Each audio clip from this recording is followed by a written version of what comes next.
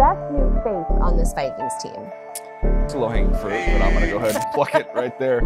Uh, Za'Darius has been great, and knowing you know where he came from in my time in Baltimore and, and seeing kind of how he grew up in this league, there's just a different toughness to those guys. We got some work. This, this ain't it. This is the beginning, baby. Wow, he takes on Za'Darius Smith, he, and then he's going to go tell him, look, he's laughing. Here we go again. Rush for Aaron. He's hit.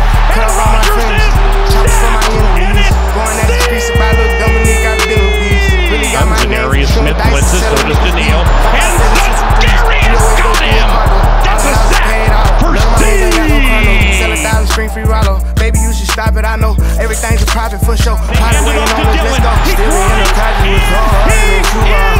Let the ride by, losing tomorrow. Vikings had that place there. So Darius Smith coming in. Waddle got the pressure. That ball came out loose. Darius Smith knocked it away. Tackled back at the 38-yard line. 35. Play action. Bridgewater down. Bridgewater spins, wrapped up, taken down. What a game for Za'Darius Smith. Tied for the league league in pressures, has five and a half sacks. That defense ranks 11th in the league, and it's not just his play. He's in trouble. Spins away from one Viking, but he can't get away from Dalvin Tomlinson. Oh, Hunter senses pressure. No, he doesn't. He goes down.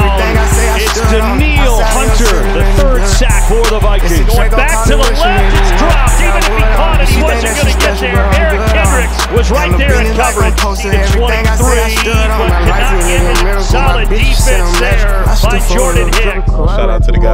Guys on the back end. Over the middle, bobble, and then a diving attempt and an interception.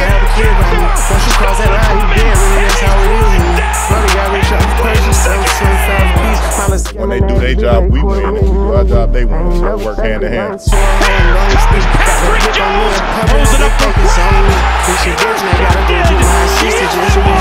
the pressure coming from Smith. And the some more work. We still got a long way to go as a football team and as an edge department. So we're going to keep chopping the wood and getting better each and every day.